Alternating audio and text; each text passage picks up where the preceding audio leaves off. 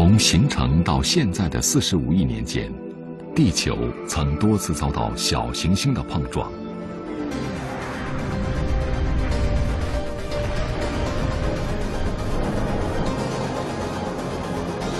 也曾受到风雨的侵蚀，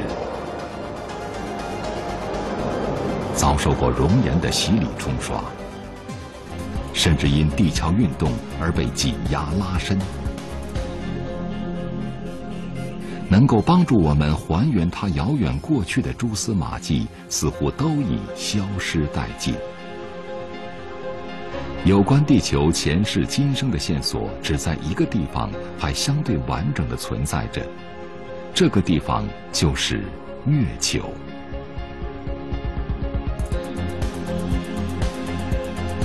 科学家们遍访地球各个角落，描绘山脉和洼地。探索其内部奥秘，以加深对地球历史的了解。科学家们还试图解开月球诞生之谜，希望借此来还原地球年轻时的样子。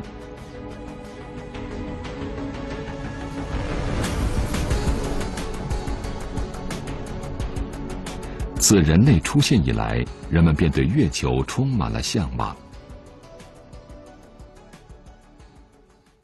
月球作为夜空中最亮的星球，几千年来为人们指引方向，帮助人类计算节气，并且哺育了无数神话故事。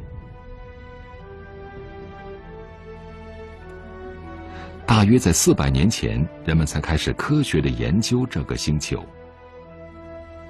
几百年前，伽利略听说远在荷兰。一位光学仪器家制造了一个可以看清远处物体的仪器。作为第一位现代科学家，伽利略想到，在这个仪器的帮助下，一个困扰人类多年的难题即将有所突破：宇宙苍穹到底是什么样子的？人类的世界在其中扮演着怎样的角色？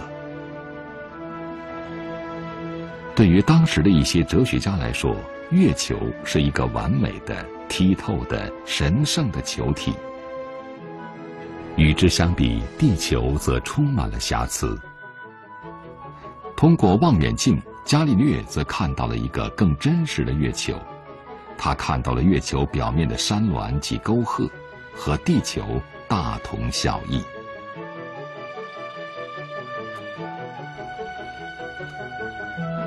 时间回到现代的月球研究。一九五九年，由美国和前苏联发射的第一台探测器登月，旨在拍摄特写照片，得出直观的数据。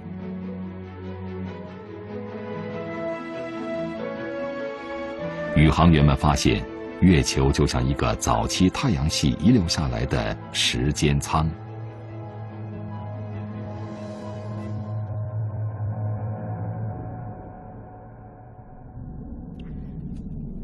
通过研究采集回来的岩石样本，证实了一个惊天理论：月球和地球表面的组成成分其实是极其相似的。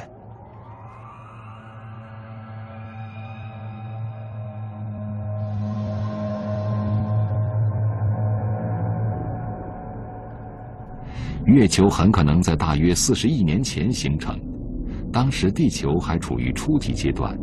与一个大小近似于火星的星球相撞。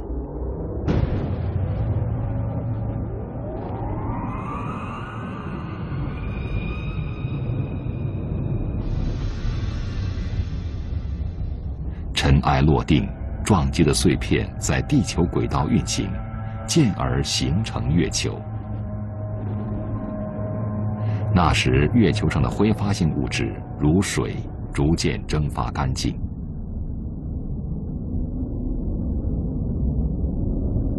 撞击过后，月球逐渐冷却下来，表面的熔浆也逐渐变硬，形成外壳。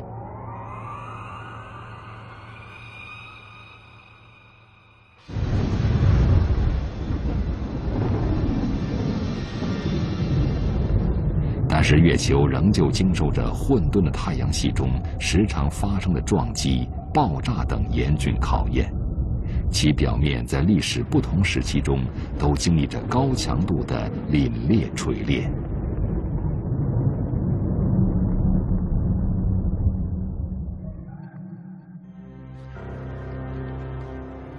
科学家们想知道，这般锤炼是否让月球孕育了某些资源，比如水资源。一旦被发掘，它将对长期载人飞行任务提供巨大的帮助。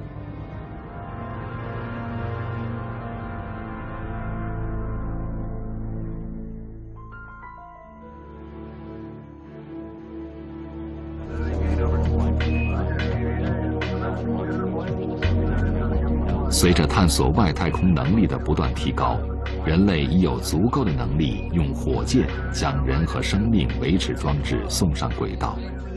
三百多次的载人飞行记录足以证明人类可以在地球外生存和探索。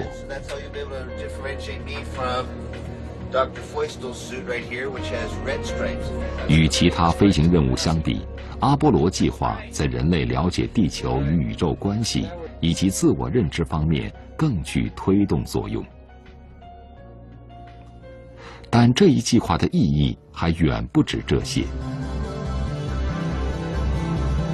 登陆月球是人类探索的一次飞跃，但宇航员从月球上捡到的东西，才是阿波罗行动带给我们的最大财富。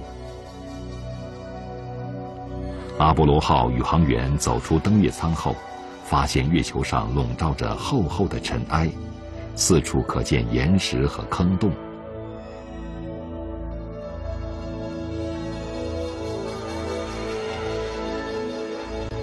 他们漫步月球，将总计三百八十二公斤重的岩石捡回了返回舱。